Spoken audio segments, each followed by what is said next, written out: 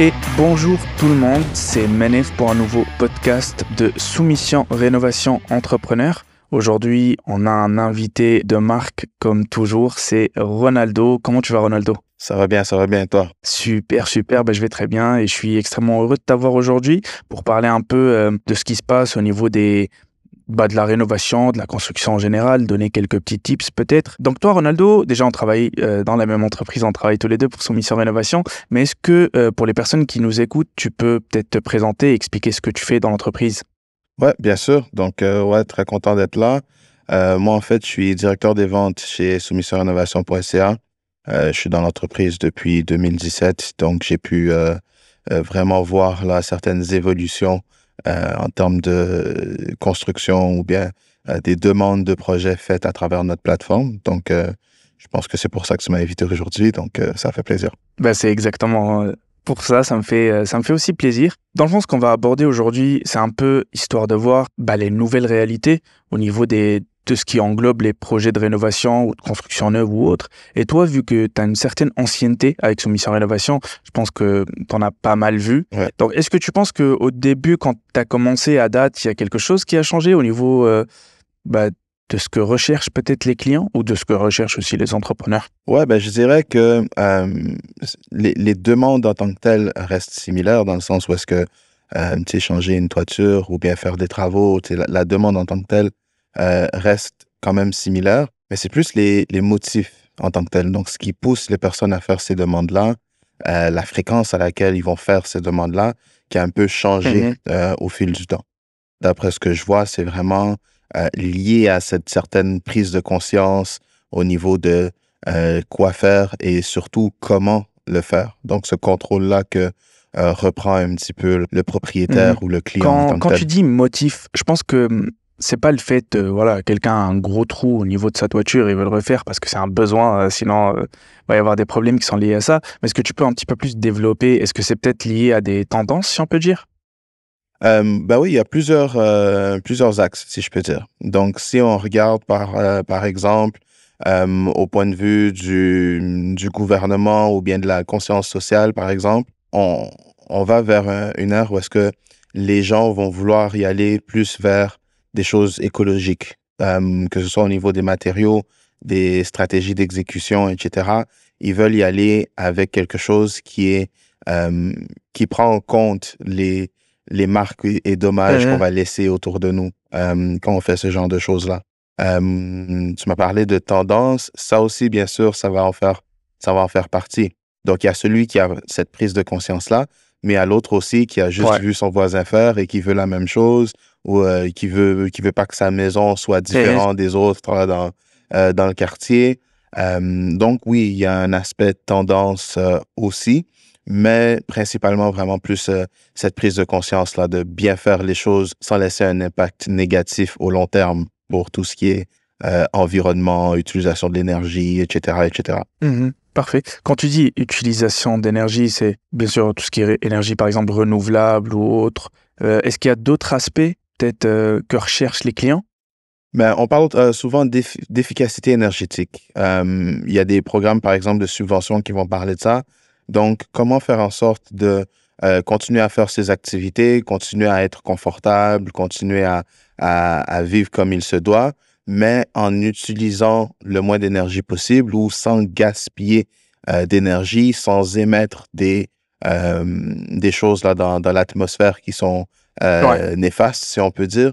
C'est plus dans ce sens-là. Est-ce qu'il y a quelque chose que je peux faire pour arriver à mon but sans nécessairement que ça me demande de faire un nouveau branchement ou bien d'augmenter ma consommation d'énergie? Donc, ça, c'est quelque chose qui est, euh, qui est un peu plus pris en compte, si je veux dire. Tu sais, si on pense à euh, dans le passé, il y avait des gens, puis il y en a certains là avec les droits acquis qui en ont encore, mais cheminée au sous-sol, donc moi j'ai froid, je vais juste euh, partir la cheminée ou euh, écoute, je vais juste mettre le, chauffage dans le tapis, comme ça je suis sûr que j'ai pas de soucis, etc.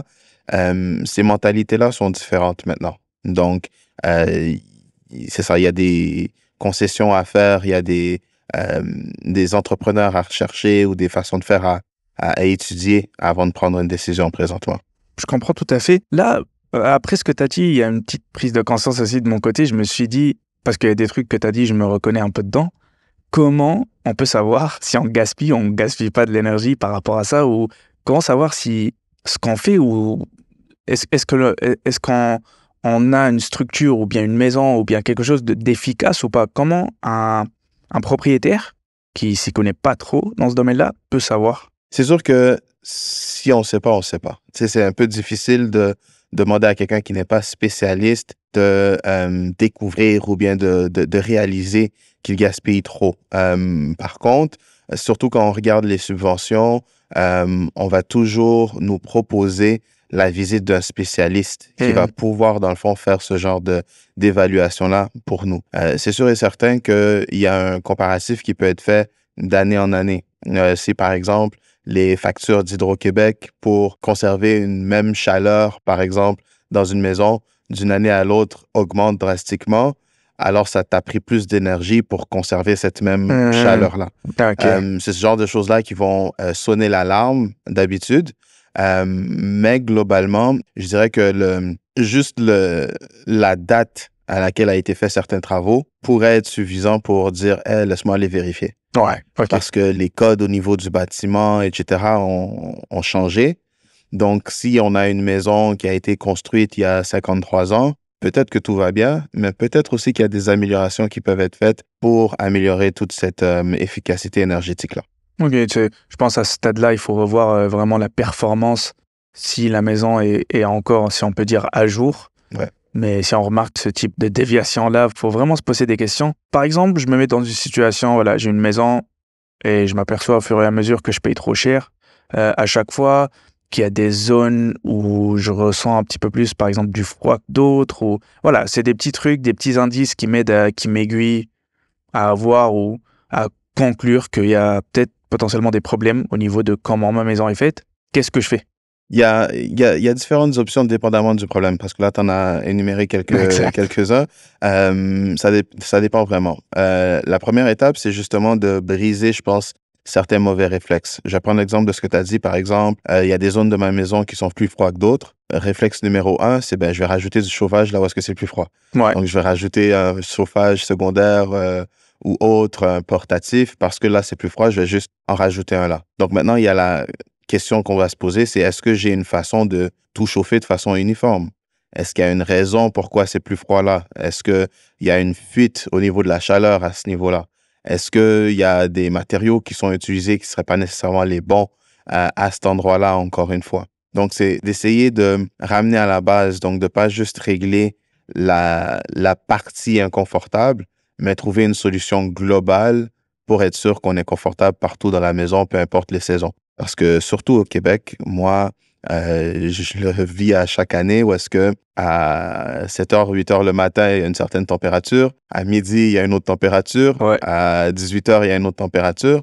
Euh, puis on n'est pas nécessairement là pour faire les euh, modifications ou réguler les, les, températures par pièce. Donc, si on a un, système centralisé, normalement, on choisit juste une, une, certaine température et puis ça va automatiquement se, se placer. Mais s'il y a un déséquilibre dans une pièce, euh, puis qu'on est obligé de rajouter un chauffage supplémentaire, par exemple, celui-là, il va continuer à rouler jusqu'à ce qu'on revienne. Ouais, c'est ça. donc, c'est ce genre de choses-là qu'il faut, euh, euh, qu'il faut penser. C'est pour ça qu'il y a des professionnels qui sont là pour vraiment inspecter, vraiment regarder où est-ce qu'il y a une optimisation de possible, puis vous, vous diriger vers la solution en tant que telle.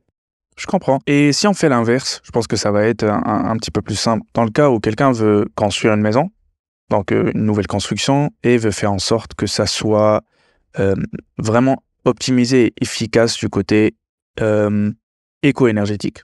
Est-ce qu'il y a des, des, parties de la maison, si je peux dire, ou, ou des, des, vraiment des points à se focaliser dessus?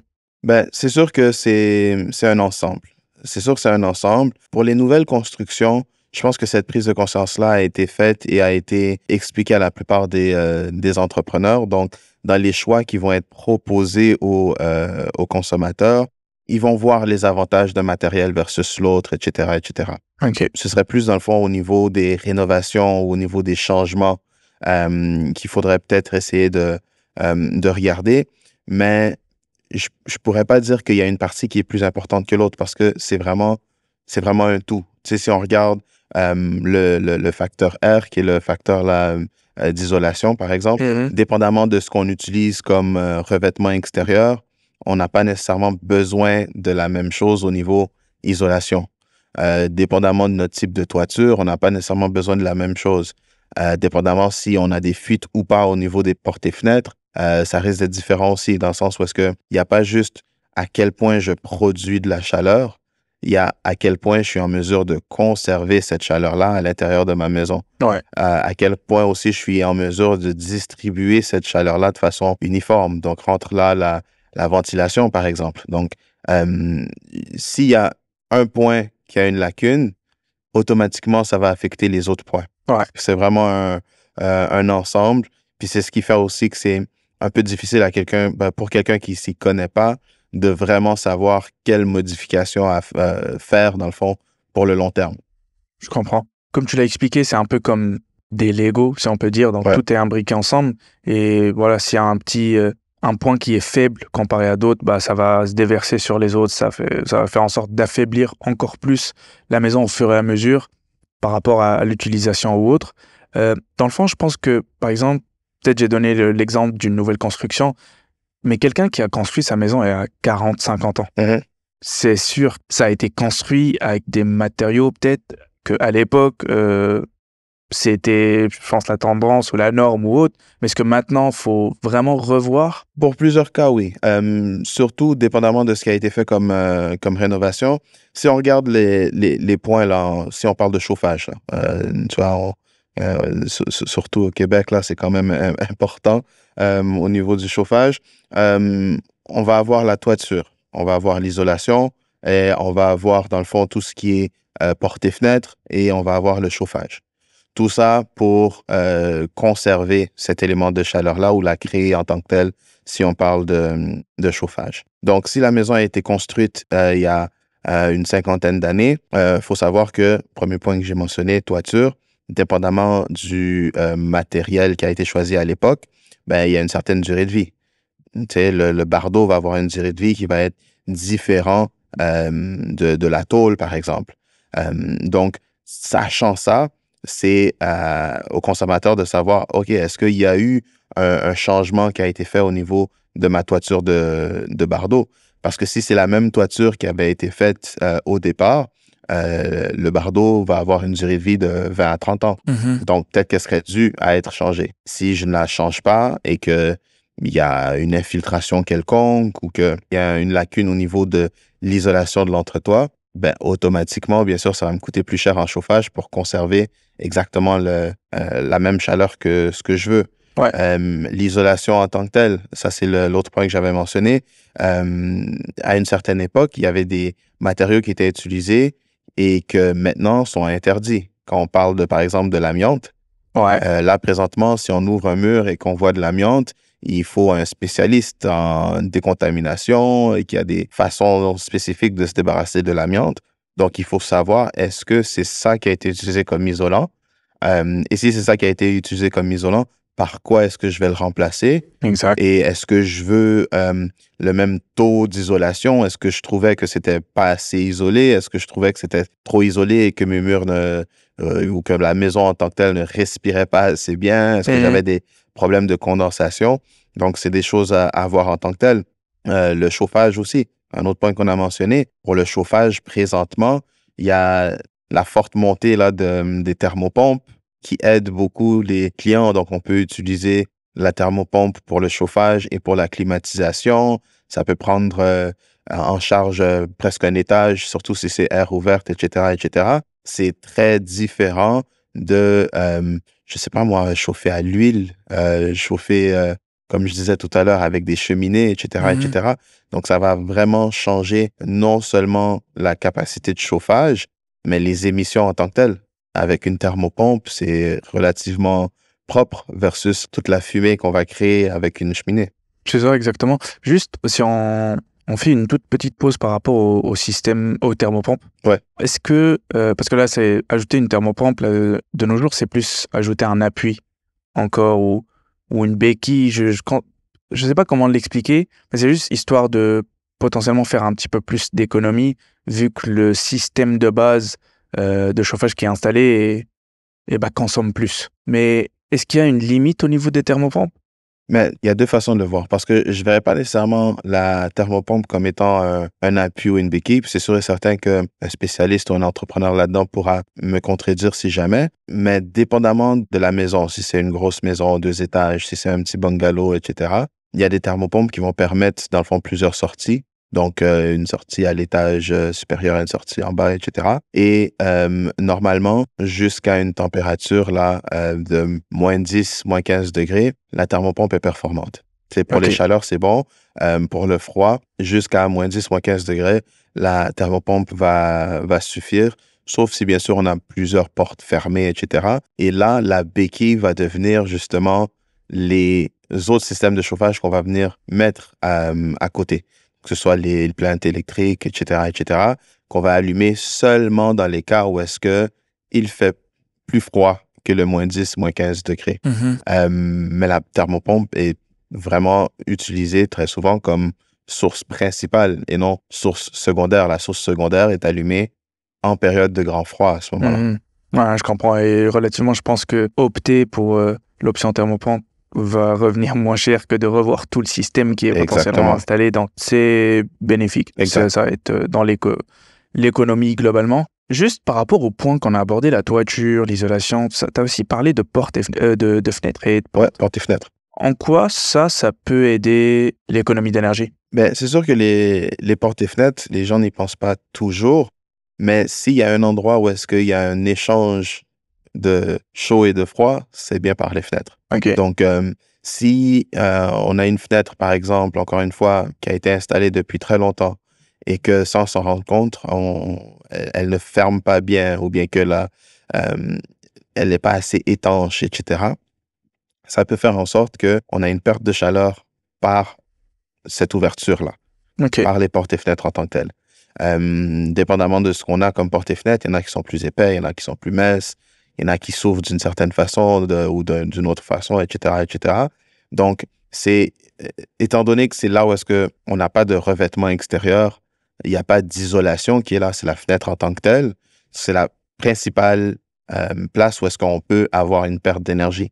Si, euh, par exemple, on regarde nos fenêtres et on voit qu'il y a de la condensation qui se forme sur nos fenêtres, mm-hmm. ça peut aussi devenir un indicatif. Est-ce que mon problème, c'est un problème d'humidité? Est-ce que c'est un problème de chauffage? Est-ce que c'est un problème de perte de chaleur? Qu'est-ce qui fait en sorte que je vois ces signes-là? Donc, ça devient vraiment un, bon indicateur de est-ce que j'ai quelque chose à vérifier au niveau de la maison? OK. Est-ce que, c'est une question, je ne sais pas si tu peux me répondre à ça ou pas, mais comme je prends l'exemple que tu as dit euh, par rapport aux toitures, est-ce que on peut euh, estimer ou on peut donner une idée de la durée de vie? Des fenêtres, des portes, ou ça, c'est vraiment... Euh, c'est très variable. Euh, c'est très variable. Puis je ne veux pas me prononcer en tant que spécialiste là-dessus. Donc, si jamais on, a la chance de parler à quelqu'un euh, au niveau des, des portes et fenêtres, parce qu'encore une fois, il y a tellement de types, tellement de différents choix pour les mm-hmm. portes et fenêtres. Et c'est là que vient l'importance de la décision du consommateur. Parce que dans tous, les, dans, tous les choix, tout ce qui est matériaux, tout ce qui est façon de faire, il y a toujours cette problématique de savoir, OK, coût immédiat versus coût à long terme. Ouais. Bénéfice immédiat versus bénéfice à long terme. Est-ce que je veux quelque chose qui me coûte un peu moins cher maintenant, mais que je vais devoir changer dans 5-6 ans? Est-ce que je veux quelque chose qui me coûte plus cher maintenant, mais que j'ai une paix d'esprit pendant 20 ans? Ça, c'est un choix qui va revenir au consommateur en tant que tel. Parce que, je veux dire, il y a des fenêtres qui sont euh, parfaitement là, euh, comment je pourrais dire, qui sont imperméables au bruit même. Qui vont, tu sais, euh, vraiment bloquer le bruit de l'extérieur. Est-ce que. C'est, ça ajoute de la, sonorisation? Exact. C'est vraiment une sonorisation. T'en as d'autres que, que non. sais, même fermé, tu vas entendre un petit peu les enfants qui jouent dehors et les chants des oiseaux. Mais, mais encore une fois, ça dépend quel genre de consommateur, quels sont les besoins du consommateur à ce moment-là? J'imagine comme tous les points qu'on a abordés, la toiture, l'isolation, le chauffage, porte-fenêtre, tout ça, bah c'est ces points-là, par exemple, qui font en sorte que il y a vraiment un problème au niveau peut-être de perte de chaleur ou l'inverse dans une maison. Mais dans le cas où bah, j'ai plusieurs problèmes en fait dans ma maison, moi, est-ce qu'il y a un ordre de priorité par quoi je commence ou qu'est-ce qui est le plus peut-être efficace ou dans quoi je vais mettre mon argent au début? C'est là où il y a le problème parce que comme je disais euh, plus tôt, euh, tout est interdépendant. Si j'ai une perte de chaleur, ça me sert à rien d'aller investir pour produire de la chaleur. Mmh Et de la même façon, si à l'inverse, je produis pas de la chaleur de la bonne façon, ça me sert à rien d'aller investir pour la conserver. Ouais. Et il, il faut vraiment voir où est-ce qu'il y a une lacune, où est-ce qu'il y a une amélioration possible pour que le tout fonctionne bien. Euh, c'est sûr que si on part euh, de la toiture, l'isolation, dans le fond, de tout ce qui est l'entretoit ou le choix de matériaux au niveau de la, de la toiture, ça, c'est quelque chose quand même à, à vérifier. Euh, juste parce que non seulement il y a une question de chaleur, mais il y a une question d'eau. Après Ouais. les neiges, il va y avoir la fonte des neiges. Ouais. Puis souvent, c'est là que les gens vont penser à peut-être revoir euh, tout ce qui est toiture. Au dégel, au moins est-ce que toute cette neige se transforme en eau, c'est là qu'on on voit la plupart du temps que, ah, il y a une lacune ici parce que je vois, je vois une trace au plafond à Ouais, cet problème endroit-là, d'infiltration d'eau. Exactement, infiltration d'eau. Mais le, ce problème d'infiltration d'eau-là, c'est juste qu'il est visible.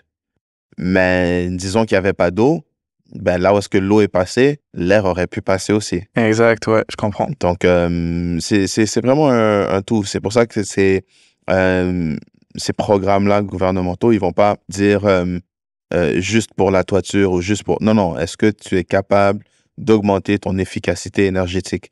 Peu importe ce que ça t'a demandé de changer. J'imagine dans ce cas-là que l'expertise d'un entrepreneur est primordiale. hein. On peut pas faire sans. On peut pas faire ça. On peut pas faire ça parce que, euh, surtout si on s'y connaît pas bien, comment est-ce qu'on va déterminer euh, présentement quel est mon facteur R? Ouais. Comment on va déterminer où, où est-ce que je veux aller? Euh, quel matériau me donne quel type de facteur? Est-ce que je dois isoler l'intérieur de ma maison ou est-ce que je dois changer mon isolation extérieure?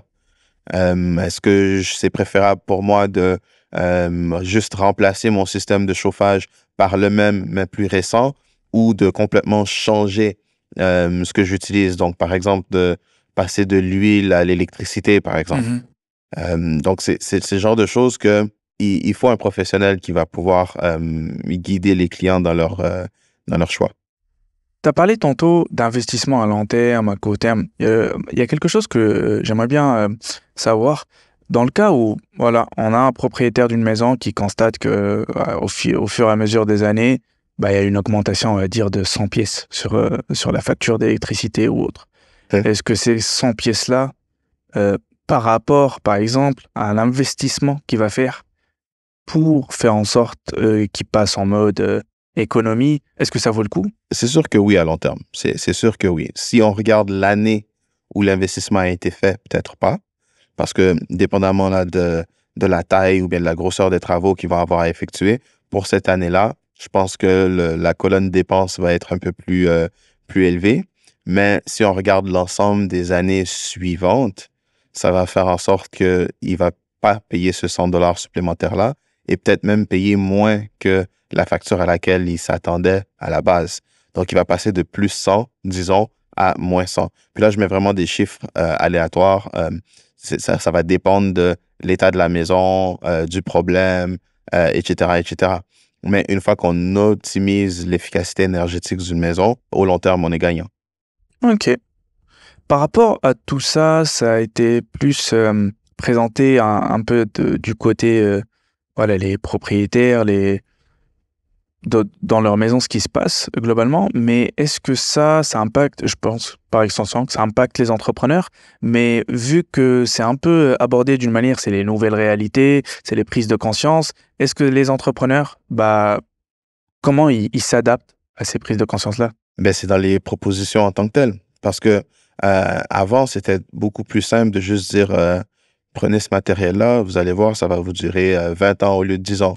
Prenez ce matériel-là, vous allez voir, c'est beaucoup plus robuste. Regardez, je vais prendre mon marteau, je vais frapper dessus, ça va pas casser. Versus maintenant, où est-ce que c'est regardez, ça, c'est euh, 100% recyclable. Hmm, ok. Regardez, ça, euh, ça va avoir euh, zéro impact négatif sur euh, l'environnement. Euh, regardez, cette technique-là que j'utilise va faire en sorte que, euh, vous voyez, donc ça, ça va moins euh, dans, la proposition, dans l'argument, dans le fond de proposition de l'entrepreneur, l'angle change un peu. Ouais. Euh, dans tout ce qui est les, euh, les garanties, ça va changer aussi. C'est plus juste je veux le moins cher et le plus solide. Il y a d'autres aspects qui vont entrer en ligne de compte. Puis ça permet aussi maintenant aux, aux entrepreneurs de- d'explorer. Quand je dis explorer, c'est ah, avant, je peux, ben, je vais pas lui proposer ça, c'est trop cher.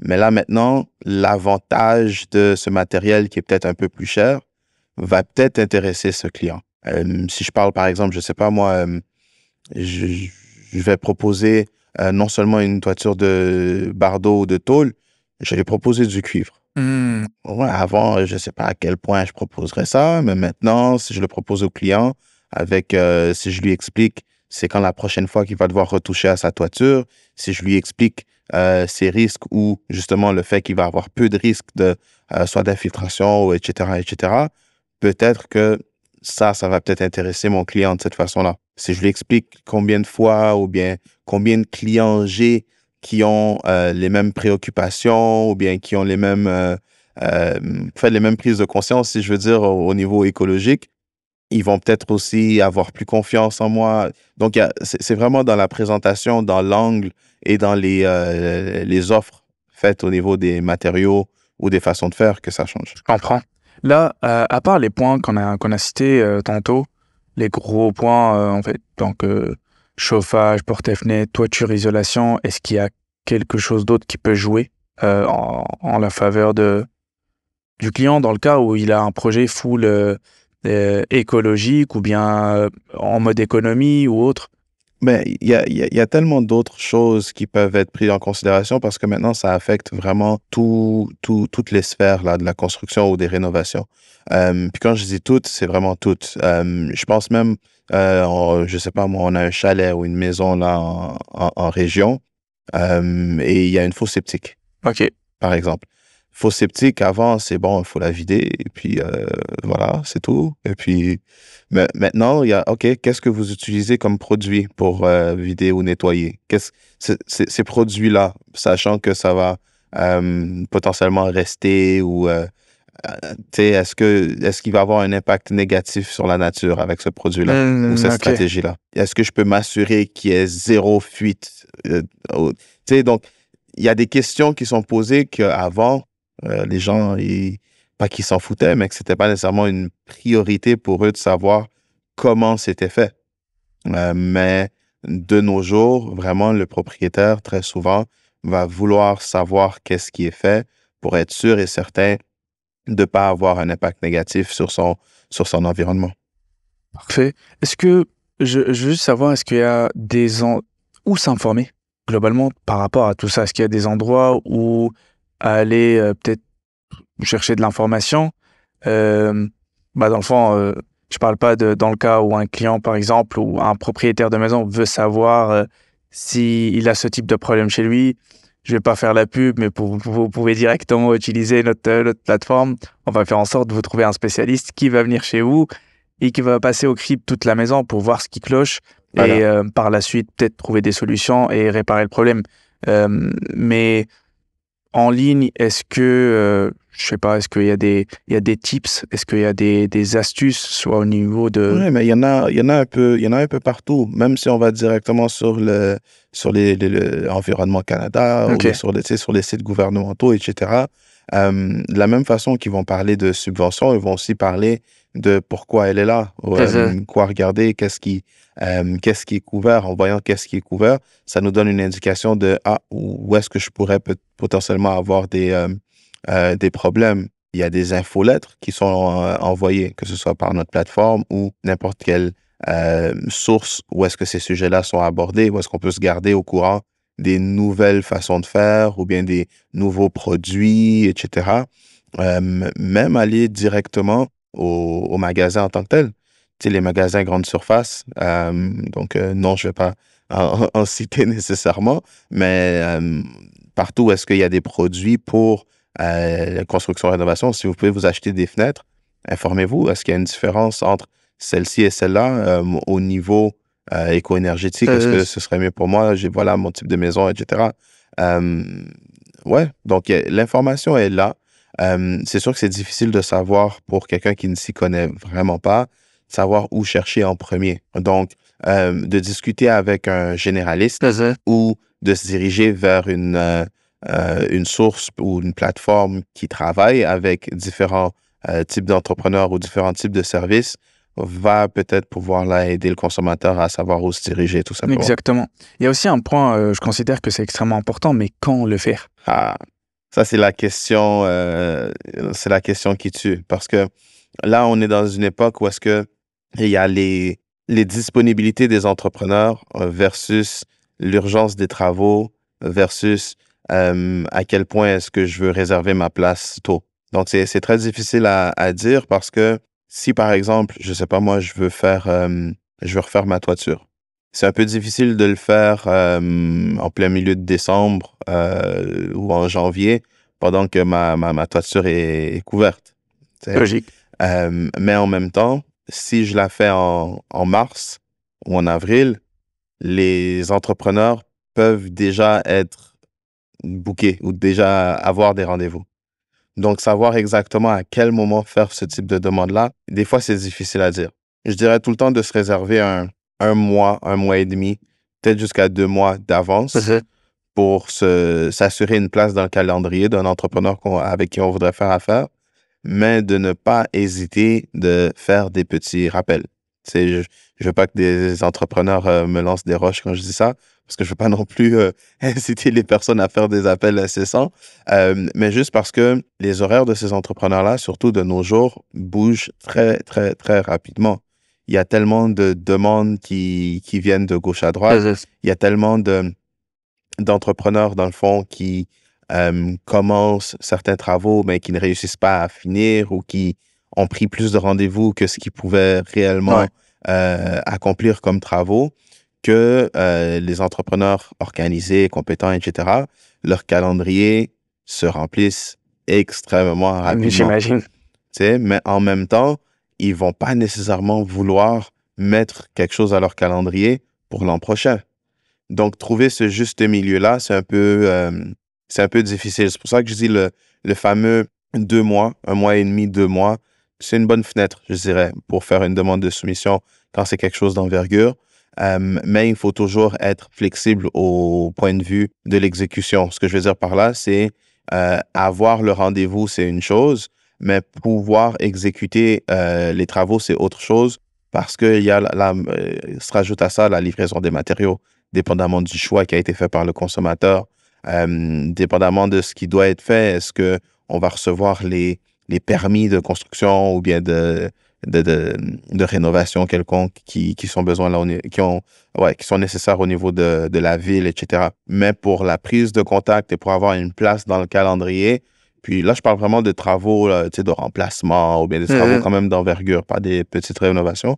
Euh, ouais, le mois et demi, deux mois, d'après moi, là, c'est euh, c'est une belle fenêtre. C'est sûr. Il faut se préparer. Il faut laisser le temps aussi aux entrepreneurs de se préparer. En conséquence, il y a, plusieurs étapes euh, qui ne doivent pas être brûlées ou, pas accélérées parce que là, ça peut engendrer peut-être des problèmes au niveau soit de la job en elle-même, de la réception des matériaux, de plusieurs, euh, plusieurs soucis qui vont par la suite suivre. Mais globalement, je pense que on a bien, on a bien fait le tour de tout. Euh, dans on a un peu euh, discuté de, tout ça d'une manière un peu générale. J'espère que dans le futur, on, peut avoir peut-être des entrepreneurs qui sont spécialisés sur tous les points qu'on a qu'on a énoncés aujourd'hui, histoire d'approfondir un petit peu plus, euh, de parler euh, vraiment purement avec quelqu'un qui s'y connaît au niveau des matériaux, des coûts, de ce que ça prend, de ce que ça prend pas, pourquoi choisir ça au lieu de ça. Ouais. Donc ça, j'espère que ça va suivre. On, en tout cas, moi, ça m'a fait extrêmement plaisir de te recevoir, Ronaldo. Je pense que tu as vraiment euh, l'expertise que tu as, c'est lié euh, bien sûr à l'expérience que tu as eue au, sein de Soumission ouais, Rénovation. Je pense que tu as été en contact avec beaucoup, beaucoup d'entrepreneurs. Ouais, effectivement. Qui, bah, tout ça a fait en sorte que l'échange d'informations se fait des deux côtés. Moi, j'apprécie énormément faire des podcasts avec toi. Ah, et bien sûr, dans le futur, euh, j'aimerais aussi euh, en faire d'autres, dépendamment des, des sujets. Je ne sais pas si, je pense par rapport au podcast, qu'on va trouver quelques petites idées. Je ne sais pas si peut-être le fait de demander euh, aux personnes qui, qui écoutent nos podcasts, est-ce qu'il y a des sujets spécifiques qui, qui aimeraient peut-être... euh, qui, qui aimeraient peut-être aborder? Moi, je trouve que c'est une bonne idée de demander s'il y a des sujets Ouais. intéressants euh, ou s'il y a de l'expertise qui pourrait être offerte. Exactement. Comme j'ai dit tout à l'heure, moi, j'ai donné tout ce que j'ai dit, dans le fond, c'était en lien à- avec ce que j'ai vu euh, à partir là, de, mon, de mon poste ici chez Soumission Rénovation. Mais il- ces entrepreneurs-là qui vont écouter le podcast sont sur le terrain du matin jusqu'au soir. Euh, et eux, ils discutent. Oui, je discute avec des clients, mais eux, ils négocient avec les clients, ils font l'installation. Euh, c'est eux qui parlent aux manufacturiers, etc. Donc, euh, je pense que le- leur point de vue est extrêmement, extrêmement important et de voir aussi dans ces nouvelles réalités-là où est-ce que eux ils se positionnent, euh, comment ils font dans le fond pour gérer ça? Moi, j'ai dit le- le- par exemple le mois et demi, deux mois, mais c'est pas tous les entrepreneurs qui ont le même calendrier, c'est pas les mêmes entrepreneurs qui ont les mêmes effectifs, surtout, surtout ces temps-ci où est-ce que la main-d'œuvre devient de plus en plus rare, ou bien comme me diraient la plupart des entrepreneurs, c'est pas la main-d'œuvre euh, qui manque, mais la main-d'œuvre qualifiée. Donc, euh, c'est ce genre de choses-là que euh, les entrepreneurs peuvent amener en termes de- d'information. Puis je pense que, en tout cas, moi, je l'écouterai. Parfait, bah, moi aussi. bah, je te remercie encore une fois, euh, Ronaldo. Euh, je te remercie pour tout, pour ta présence, pour l'expertise ou, ou pour l'aide ou pour les tips que tu as pu euh, peut-être donner euh, à toutes les personnes qui nous écoutent. C'était Manef avec vous. Merci de nous avoir écoutés. Merci d'avoir participé. Et à la prochaine.